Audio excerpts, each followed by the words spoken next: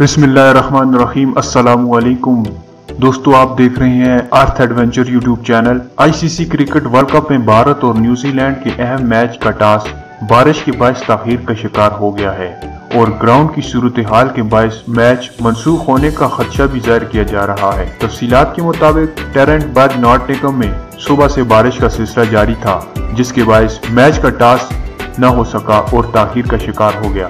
تاہم اب بارش تو رک گئی ہے، لیکن گراؤنڈ گیلی ہونے کے باعث امپائر نے ابھی ٹاس نہ کرنے کا فیصلہ کیا، جو مقامی وقت کے مطابق ساڑھے دس بجے گراؤنڈ کے معائنے کے بعد میچ سے متعلق حتمی فیصلہ کریں گے۔ نارٹ نگم میں بارش تو رک گئی ہے، لیکن بادل ہونے کے باعث سورج کی روشنی موجود نہیں، جبکہ ہوا ابھی چل رہی ہے، جس کے باعث گراؤنڈ کے خشک ہونے میں بہت وقت لگے گا۔ اس صورتحال کے باعث بیچ منسوخ ہونے کا خدشہ ظاہر کیا جا رہا ہے، مگر اس سے قبل آئی سی سی حکام کی کوشش ہوگی کہ گراؤنڈ مناسب طریقے سے خشک ہونے پر محدود اوز کا میچ کروایا جائے۔ بھارتی اسکواڈ کی قیادت وراٹ کوہلی کر رہے ہیں۔ دوستوں مزید ویڈیو کے لیے آپ ہم ہمارے چینل ارتھ ایڈونچر کو سبسکرائب کر کے گھنٹی کے بٹن کو دبا دیں۔ دوبارہ ایک اور ایسی ویڈیو میں ملتے ہیں۔ Thanks for watching